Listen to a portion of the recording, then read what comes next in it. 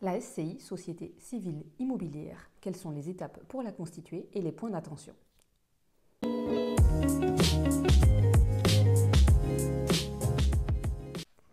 Bonjour et bienvenue sur la chaîne. Je me présente, je m'appelle Célia Pétrisson, je suis expert comptable, je suis la fondatrice du cabinet PMC Expertise Comptable, un cabinet spécialisé dans l'accompagnement des investisseurs immobiliers.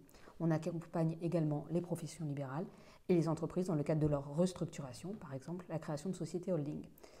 Aujourd'hui, on va voir un sujet qui intéresse tout investisseur immobilier qui souhaite choisir la SCI, la Société civile immobilière, pour porter un projet d'investissement immobilier locatif. On va voir quand créer la SCI, quelles sont les étapes pour la constituer et les erreurs ou en tout cas points d'attention pour la constituer. Alors déjà, une SCI, c'est une société civile immobilière. Donc elle permet à plusieurs personnes, ce que l'on appelle donc des associés, posséder et de gérer ensemble un ou plusieurs biens immobiliers. Donc les associés peuvent être des membres d'une même famille ou également des partenaires d'investissement. Euh, on peut réaliser un investissement euh, dans une SCI, être associé avec euh, des amis, d'autres investisseurs. Quel est son avantage principal? Elle offre en fait dans la réalité une souplesse de gestion beaucoup plus importante que dans une indivision, c'est-à-dire un investissement que l'on fait en nom propre, sans structure juridique où on investit à plusieurs offre davantage de souplesse d'organisation et de gestion au niveau de la société. Les statuts, notamment, permettent de définir des règles claires de gestion au niveau de la SCI, de la Société civile immobilière. Par exemple, si vous souhaitez investir dans l'immobilier locatif avec vos enfants, la SCI peut tout à fait être une structure appropriée. Vous allez avoir une répartition des parts entre associés et le gérant va pouvoir s'occuper des affaires courantes, notamment de la gestion et éventuellement de la mise en vente du bien immobilier. Alors pourquoi créer une SCI Donc la SCI offre plusieurs avantages. La SCI permet de faciliter la constitution et la transmission d'un patrimoine immobilier. Avec la SCI, vous allez pouvoir transmettre votre patrimoine immobilier de manière optimisée, notamment grâce aux, abattements sur les droits de succession. Vous pouvez faire des donations progressives dans le temps. Le fait d'associer également tous vos enfants au sein d'une SCI, une société civile immobilière, ça permet de réaliser la transmission dans le temps, puisque la SCI dès lors qu'elle va rembourser euh, un prêt, euh, va prendre de la valeur dans le temps. Donc euh, une valorisation va être générée et ça vous permet de créer de la valeur, notamment pour vos enfants, si vous les associez tôt au sein de la SCI.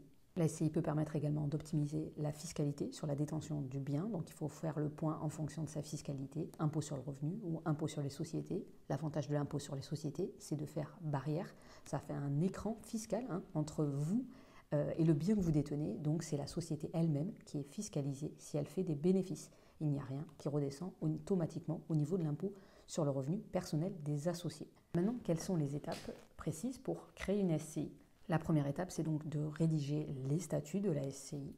Donc ce document permet de réglementer les droits des associés, les fonctions de la gérance.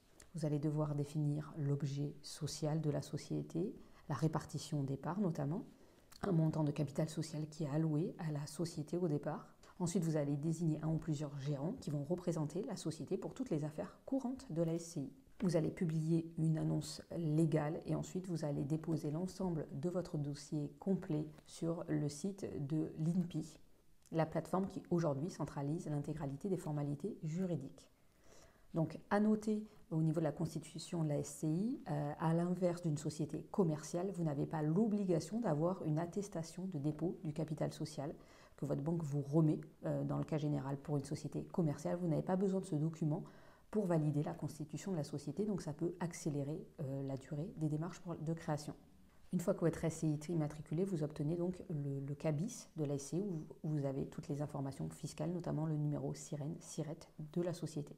Alors, quelles sont les erreurs euh, à éviter, donc, notamment au niveau de la constitution Donc, deux possibilités. Vous pouvez créer la SCI en amont d'un projet immobilier, la créer, et une fois que vous trouvez votre bien immobilier, c'est la SCI qui va signer au départ le compromis et ensuite l'acte authentique.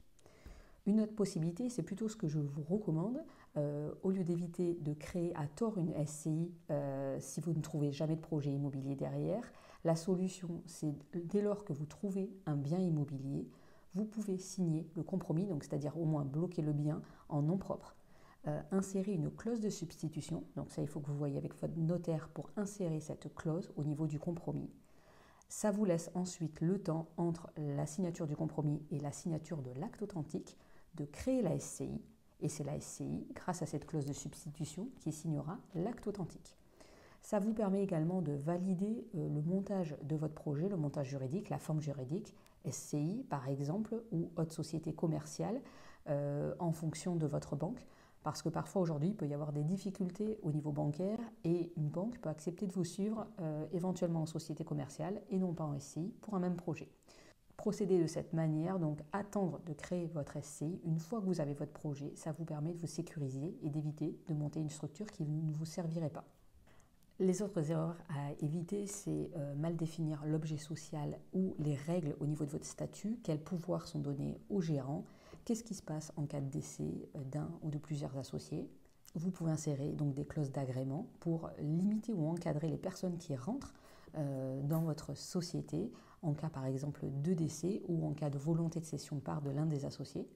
Et les erreurs également à éviter, c'est c'est tout ce qui est aspect fiscal. Avant de créer votre société, vous devez évaluer l'impact fiscal de votre investissement, savoir sur quelle fiscalité vous allez partir, puisque la SCI peut être soit l'impôt sur le revenu, soit l'impôt sur les sociétés, et les implications fiscales sont très différentes.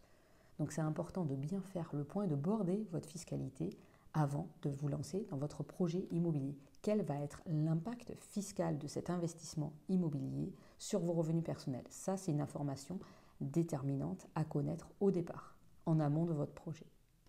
La SCI, donc, c'est donc un outil extrêmement puissant pour développer votre patrimoine immobilier et éventuellement donc le transmettre dans un second temps. Donc, elle demande donc une préparation rigoureuse, surtout tenir informé si c'est le statut le plus adapté dans votre situation pour porter votre projet d'investissement immobilier locatif. N'hésitez pas à vous faire accompagner pour la constitution, pour faire le point sur la fiscalité en amont de votre projet.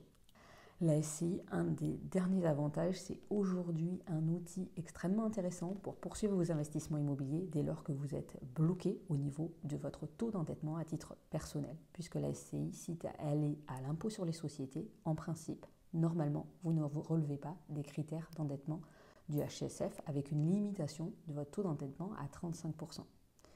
Donc c'est une solution. Aujourd'hui, c'est l'une des solutions pour continuer à investir dans l'immobilier locatif si vous avez déjà des encours bancaires à titre personnel et que vous souhaitez continuer vos projets d'investissement. N'hésitez pas à liker la vidéo, à vous abonner à la chaîne pour recevoir la notification de toutes nos nouvelles vidéos, à poser vos questions également en commentaire. On se retrouve très bientôt pour une prochaine vidéo sur la chaîne.